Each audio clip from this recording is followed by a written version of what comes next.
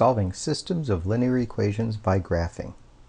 Here we have two linear equations and we are going to solve the system. look at the first and you notice immediately that it's in slope-intercept form y equals negative 1x plus 0 if we want to write it out longhand which means that the y-intercept is 0 and the slope is equal to negative 1 over 1 or 1 over negative 1, depending on which way you want to do it, and we're going to do it both ways. So to graph this line, we start with the y-intercept, which is 0, and then we go down 1 to the right 1. And we can continue that. The alternative is we can go up 1 and then to the left 1.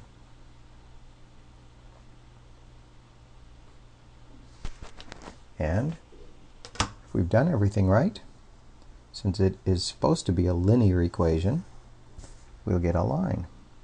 And it does. So, moving on to the second equation. It's also in slope-intercept form. That's convenient. Where the y-intercept is negative 4, the slope is either 3 over 1 or negative 3 over negative 1. To graph this, we start with the y-intercept, negative 4, so that's 0, 1, 2, 3, negative 4. Then the slope is up 3 over 1. I don't think we'll get a chance to do this because that puts us inconveniently off the bottom of the graph. So up 3 to the right 1. And if we've done everything right, should be a line.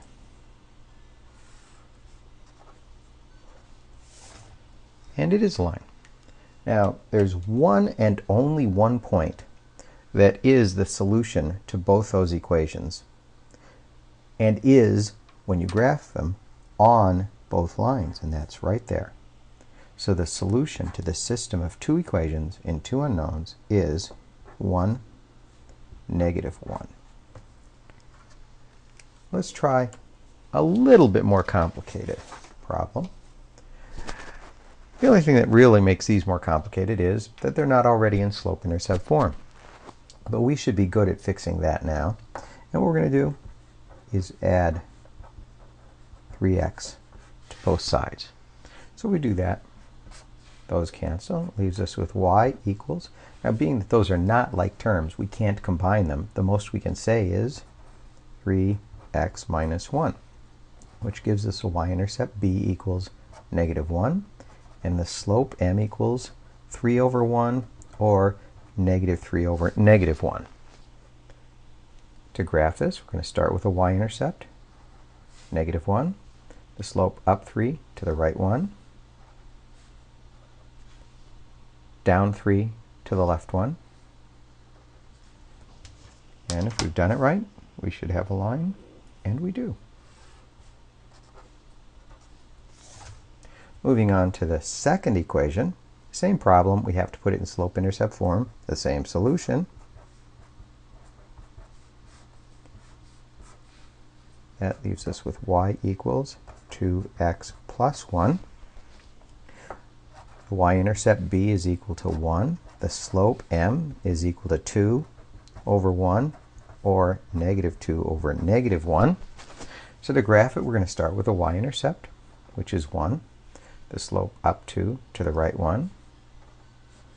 I can think that's where it's going to cross. We can already see that, but to finish it off, down 2 to the left 1, down 2 to the left 1, down 2 to the left 1.